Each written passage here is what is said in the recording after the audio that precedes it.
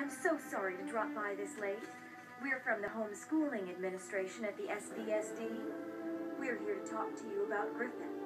It's the UCSD. There's no such thing as the